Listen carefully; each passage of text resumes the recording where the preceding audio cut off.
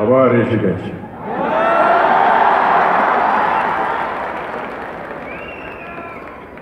মাননীয় মুখ্যমন্ত্রী মমতাজি distinguished guests, ladies and gentlemen.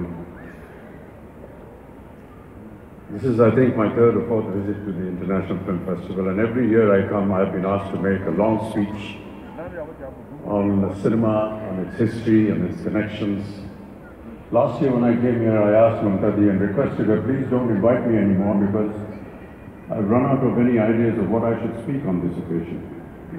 But you know, Mamtadi, as everybody knows, uh, never relents on any matter, and therefore I'm here again today. So please bear with me in this somewhat descriptive speech that I have prepared. Distinguished guests, ladies and gentlemen, I feel very honored to be invited here again. Returning to Calcutta with Jay is always a nostalgic uh, homecoming. You have christened me your Jamai Babu, and uh, you have christened Jaya your Dhwani May. And that has always been a most endearing and loving factor.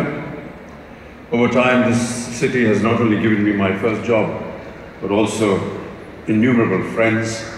And for these priceless gifts, I shall ever remain grateful. Thank you. Ladies and gentlemen, the rights of women and their social upliftment in our society has been a prominent issue in my mind for a very long time, and I thought I would speak about them today.